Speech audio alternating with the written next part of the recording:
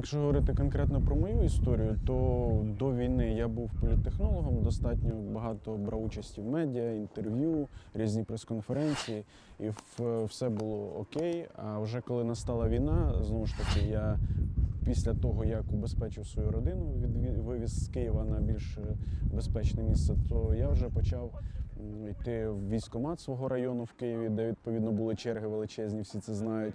Відповідно, мені, як і більшості хлопцям того часу, сказали: не маєш досвіду військового, чекай, скільки чекати, невідомо.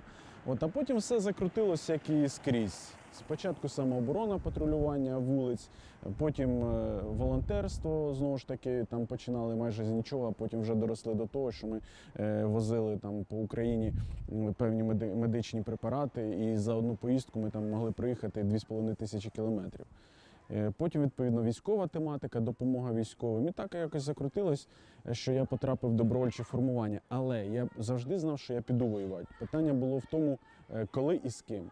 І от якраз в добровольчому формуванні виявилось, що е, я підготовлений, є хлопці, які зі мною також розділяли мої принципи. І ми разом пішли в військкомат, і саме з однією мовою, що ми хочемо в десантуру, в ДШВ. Так і сталося. Ми пішли добровольно, мобілізувалися в, добро... е, в десантно-штурмові війська. Після учебки, відповідно, нас розподілили, і я з першого дня потрапив на нуль, тобто на лінію фронту. І так сталося мені, що мені пощастило з моїм взводним, пощастило з командою, тому що мене прийняли дуже тепло разом з хлопцями, ті, хто новачки. Нам відразу сказали правила, за яким живе взвод, і так воно відбувалося надалі. До прикладу, сухий закон. Весь час, що я був на фронті, жодного випадку в нашому взводі якоїсь алкогольної історії не було. Я цим пишаюсь. Так сталося, що нас перекинули на одну позицію в Донецькій області, де власне я і отримав поранення. Але я в цьому випадку народився 7 вересня, це другий мій день народження, тому що так склалось, що в той день в мене цілив снайпер, він не попав, але цей же снайпер він вбив мого взводного, і власне потім був прильот вже через декілька годин.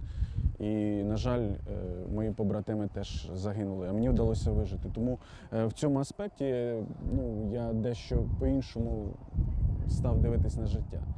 Ну тому я не можу сказати, що зараз там на якісь дрібниці мене можна відволікти або збити з пантелику. Я живий і це класно. І знаєте, я вже так жартую, що е, все класно, що не 200. От, і тому в даному аспекті я думаю, я став сильнішим. Е, В мене було тут перелом, е, рвані рани. От, і я переніс 4 міста евакуації, 5 операцій. І от на даному етапі в мене там пластина в плечі титанова, м'яз дельта впала з плеча в руку, осколки залишаться на все життя. Так що, в принципі, є такі невідворотні наслідки от цього поранення. Я навчився керувати FPV, це так звані ударні дрони. Тому я все ж таки бачу себе в активній такій е, війні. Я не хотів би десь штаб. 90% хлопців хоче повертатись після поранення на війну.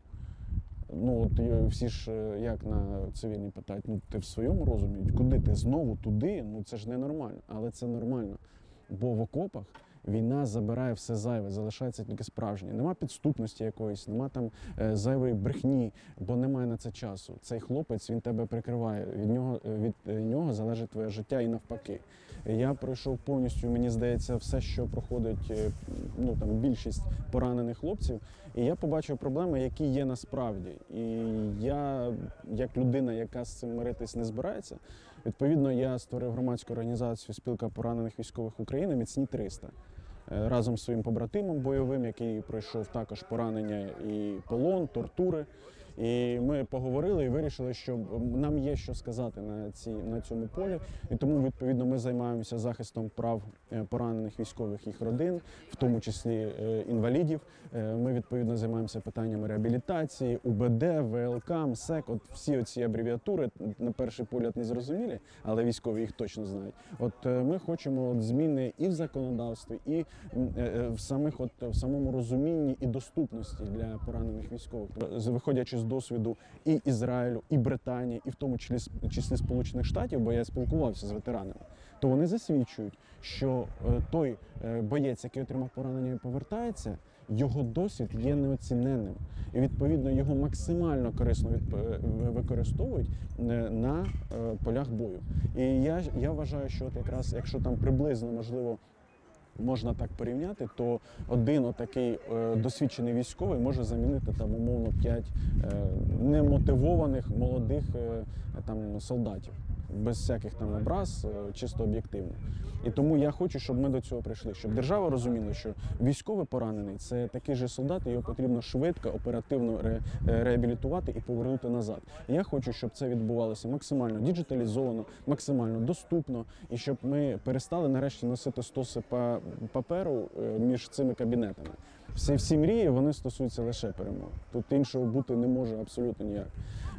І власне, не те, щоб якщо говорити так в цілому надалі, то от як я люблю говорити, що нам випала честь захищати цю державу, і на нас відповідальність її відбудувати. Тому я все ж таки дуже хочу бачити справжніх щирих людей в розбудові України.